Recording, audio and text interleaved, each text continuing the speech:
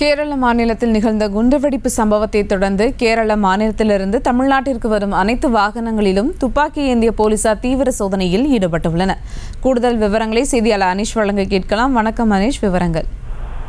சுபா வணக்கம். கேரள மாநிலம் கொச்சி களமச்சேரி பகுதியில் உள்ள கிறிஸ்துவ தேவாலயத்தில் இன்று அதிகாலை பிரார்த்தனை கூட்டம் நடைபெற்றுக் கொண்டிருந்த போது தேவாலயத்தில் திடீரென வெடிவிபத்து நடந்தது. இதில் சம்பவ இடத்திலேயே ஏழு பேர் பலத்த காயங்களுடன் கவலை கவலைக்கிடமான நிலையில் இருக்கின்றனர்.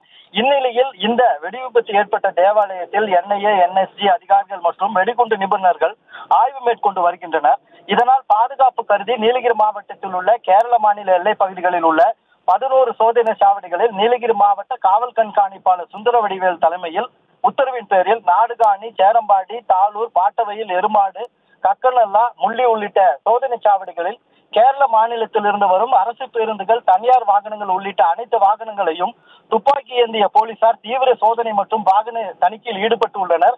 மேலும் நீலகிரி மாவட்டம் சுற்றுலா மாவட்டம் என்பதால் நீலகிரி மாவட்டத்திற்கு கேரள மாநிலத்திலிருந்து வரும் சுற்றுலா வாகனங்கள் அனைத்தும் தீவிர சோதனைக்கு பின்னரே அனுமதிக்கப்பட்டு வருகிறது. சுபா. செய்திகளை உடனுக்குடனும் துல்லியமாகவும் தெரிந்து கொள்ள சப்ஸ்கிரைப் பண்ணுங்க.